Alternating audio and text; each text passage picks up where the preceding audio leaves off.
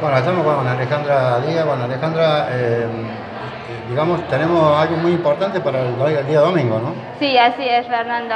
Algo muy importante para ya ir adecuándonos al tema escolar.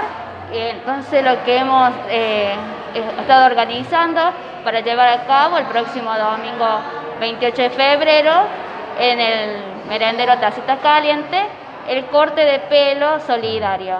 Así que ya te voy a estar pasando los números de contacto para que vayan solicitando los turnos, así nos cuidamos entre todos y va a ser el próximo domingo a partir de las 18 horas.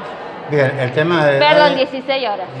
El tema de las edades tiene todo que ver con lo que hace a, los niños que van a ir al colegio.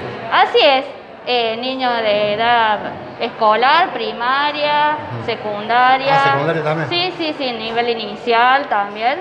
Así que pueden llegarse y previamente sacando el turno, los números que ya te voy a mencionar, te lo voy a pasar, para así coordinamos bien el tema de los horarios, protocolos sanitarios y, aprovechando una linda jornada. Bueno, Alejandra, como siempre, también eh, los peluqueros solidarios, ¿no? Así es. Eh, Matías Rivet, que siempre está a disposición en todas estas actividades solidarias y con el cual estamos muy agradecidos desde el merendero. Bueno, vale, como siempre, gracias. ¿eh? Gracias a vos, Ver.